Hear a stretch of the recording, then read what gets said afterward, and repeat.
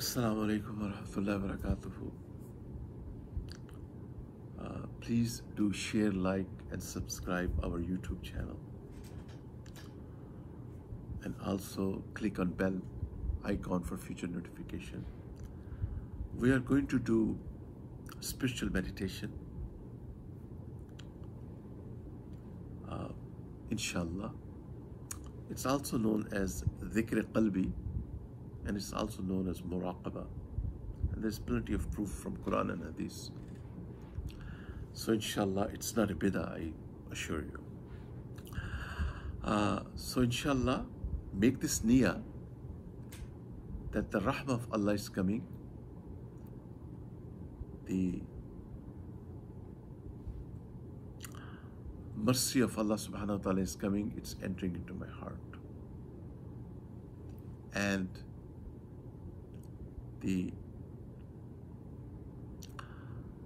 darkness of my heart is going away and my heart is saying in the state of gratitude Allah Allah Allah your heart is here on the left side. So let's do it inshallah. And for concentration reason we close our eyes inshallah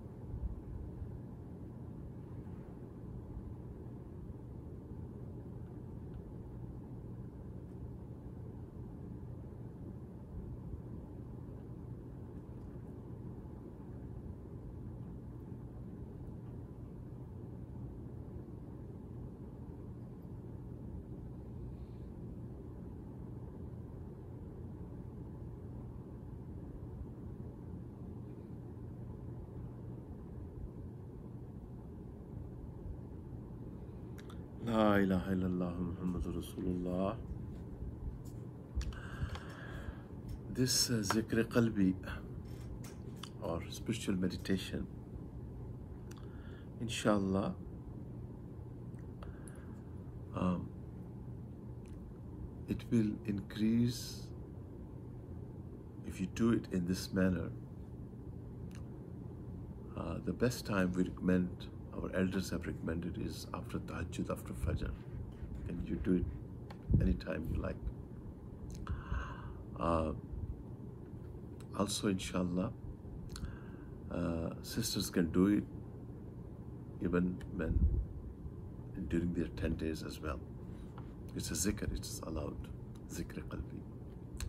The love of Allah subhanahu wa ta'ala will increase.